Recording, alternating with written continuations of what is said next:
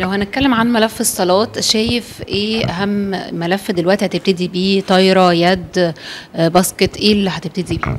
هو مش موضوع ه- هبدأ بإيه أو هنبدأ بإيه؟ على قد ما إحنا النهاردة أول حاجة بندور عليها كمجموعة أو كقايمة إن شاء الله موحدة بإذن الله إن يبقى في استقرار في كل الاتجاهات استقرار إداري استقرار مادي استقرار لنادي الزمالك قدام كل ال- الهيئات والمؤسسات آه، يبقى عندك شكل النهاردة أو آه، في لازم يبقى ليك شكل استراتيجي النهارده مش لي مش لينا إحنا كمجموعة بس لا إحنا كمان بنحاول نساعد بإذن الله ربنا يكتب لنا النجاح. اللي هيجي بعدينا إن يحس إن في تراك هو ماشي عليه مظبوط مفيش النهارده العشوائية اللي كانت موجودة الفترات اللي فاتت لا إحنا محتاجين يبقى في استقرار ده أهم نقطة بندور عليها.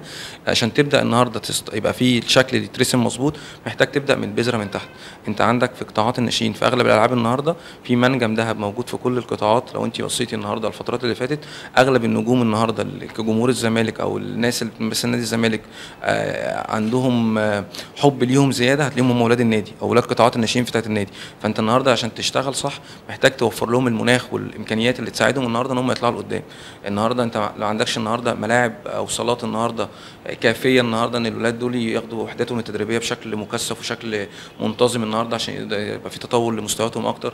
محتاج النهارده يبقى في مساعدة للمدربين اللي موجودين في القطاعات النهارده يبقى في مساحة تطوير أكتر ليهم إذا كانت بمعايشات آه، من ناس داخل مصر أو معايشات من ناس خارج مصر يقدروا يطوروا ال- ال- ال- الشكل ال- ال- العلمي للمدربين أو الناس المسؤولين الإداريين لنادي الزمالك آه، محتاج النهارده الولد نفسه اللي بيلعب في قطاعات الناشئين يحس إن هو فعلا بيمثل نادي كبير هو اسمه نادي الزمالك.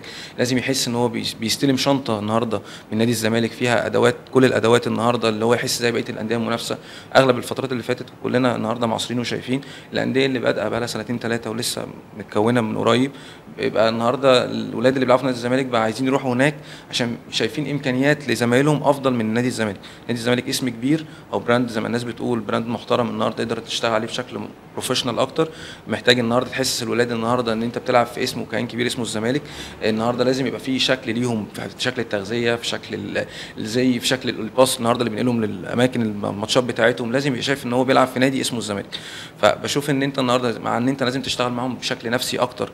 وتغرس فيهم قيمة الزمالك أكتر جواهم. فأنت عندك أدوار كتيرة النهارده محتاج تشتغل. الحمد لله أنا أظن علاقتي كويسة بالولاد كلهم والشباب اللي موجودين في القطاعات وفي ثقة متبادلة بيننا وبين بعض. فإن شاء الله أقدر أخدم عليهم وأقدر أساعدهم وأوفر لهم المناخ اللي يقدر يفيد نادي الزمالك في المستقبل إن شاء الله.